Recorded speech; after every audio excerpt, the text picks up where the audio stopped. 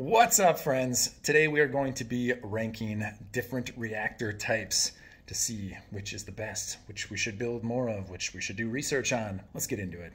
First on our list, we have the molten salt reactor.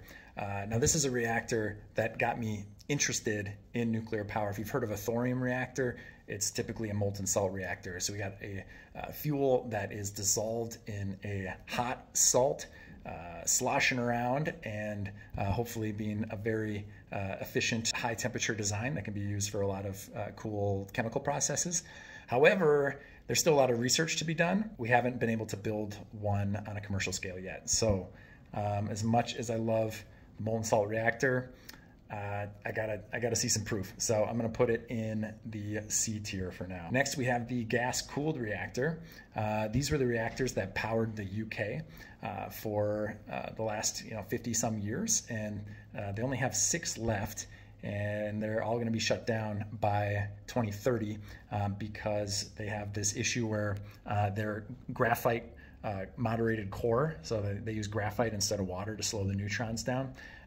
it cracks and they can't totally predict that it's going to be hold its structural integrity for another 20 years or whatever. Like for us plants they hit 40 and we're like wow this thing's doing great. We can keep extending it. Uh, they can't say that with confidence for the gas cooled reactors so they're shutting them all down uh, by the end of this decade. And for that reason, uh, though they've performed well and the high temperatures are handy and it's and it's technically more efficient than a like light water reactor, I'm to put them in the B tier. All right, next we have the light water reactor. This is a picture of the new Vogtle plant that's uh, being completed in Georgia.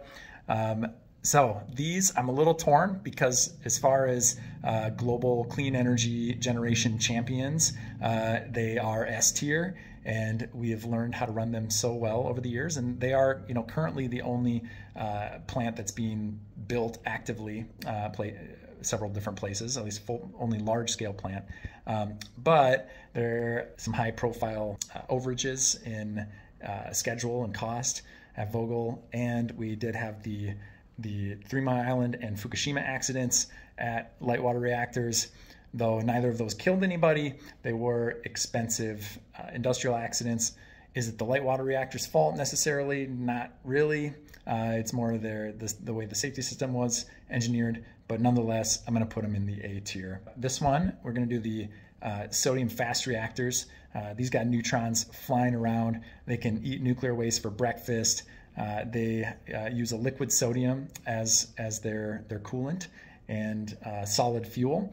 Uh, we have a few of these uh, around the world. The US had one called the EBR2 experimental breeder reactor that ran wonderfully for about 30 plus years and even proved it could be it was meltdown proof. They did a, test that where they got rid of all the circ- circulation power and it just shut itself down from laws of physics. And russia is working on commercializing it. They have this pictures of the bn 800 a commercial sodium fast reactor. Um, so with that in mind i'm going to put this in the b tier. Uh, it's good reactor. We just need to scale it up make it more uh, cost effective all right, this is a real easy one. RBMK, that's, that's the Chernobyl type reactor. If it didn't have that accident, I'd probably put it up more B or C tier. If it had containment, all those things, uh, because the other RBMKs that weren't Chernobyl ran pretty well, but just because Chernobyl happened, I'm sorry, RBMK, but you are a D tier reactor. And finally, we have our S tier reactor. For the S tier, I have chosen the CANDU. Uh, for one, it has one of the coolest names. You can do it! The name stands for Canada Deuterium Uranium, and that means that it uses heavy water instead of regular water. Because it does this, it enables them to run basically natural uranium right out of the ground uh, in their reactors instead of using enriched uranium like the light water reactors do.